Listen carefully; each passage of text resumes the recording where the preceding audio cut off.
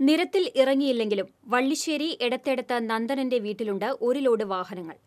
നന്ദനന്റെ മകൻ നിഖിൽ നിർമ്മിക്കുന്ന മിനിയേച്ചർ വാഹനങ്ങളാണ് വീട് നിറയെ.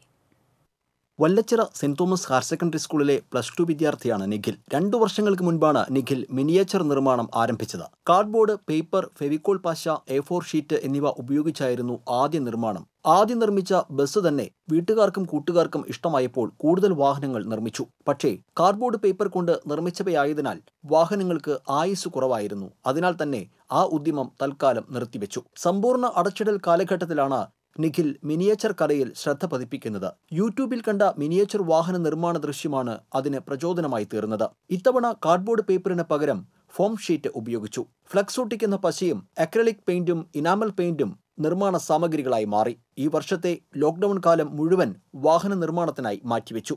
യൂട്യൂബിൽ കണ്ടിട്ടാണ് ആദ്യമായിട്ട് ഈ ഫോർ ഷീറ്റിനെ കുറിച്ച് കണ്ടതൊക്കെ.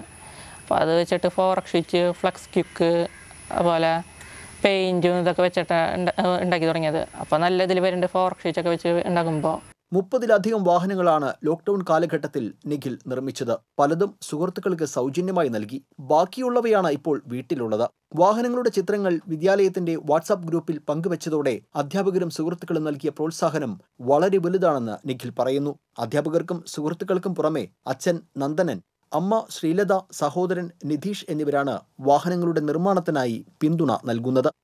T C V Cherpu.